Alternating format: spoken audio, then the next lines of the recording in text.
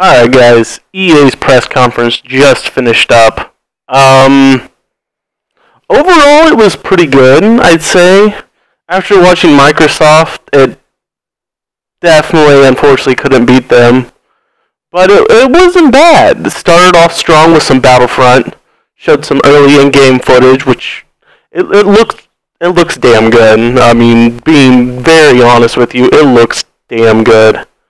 Um, course, gave the time to their EA Sports franchises, Madden, FIFA, NHL. They showed off golf, which was interesting. I love golf. I don't know if you guys know that, but I love golf, and it does look pretty good. Of course, the Tiger Woods name has been wiped off.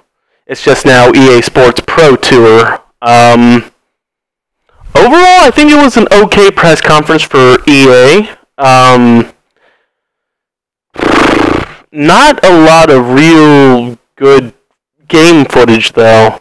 Showed off some Mirror's Edge. They showed that was all what they were labeling as conceptual prototype. Um, I'm not exactly sure how to explain that, but it was. They showed off Mirror's Edge. They did show off some Dragon Age, and that looks like an interesting game. I've never played Dragon Age before, so it'll be interesting to see what exactly that is, because I'm unsure at this point. And then the very end, they brought in Battlefield Hardline, and the game looks very interesting. Um, it it's like from what I saw, it's cops versus criminals, and then they put it into like a big battlefield arena. They were showing off a 32 v 32 gameplay and stuff, and it was hard to follow pretty much the whole time, unfortunately.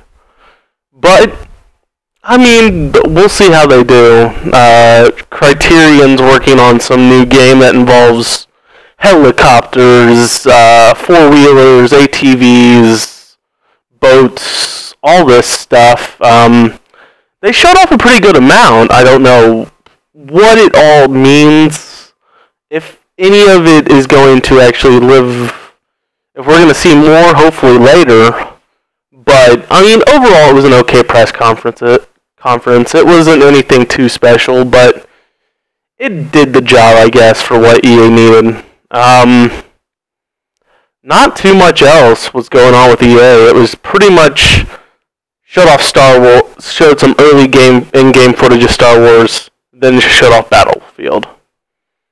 Mirror's Edge was in there. All these little, the all, all the EA Sports games were in there. Other than that, it was not too much more to talk about. Um, that's it for the EA.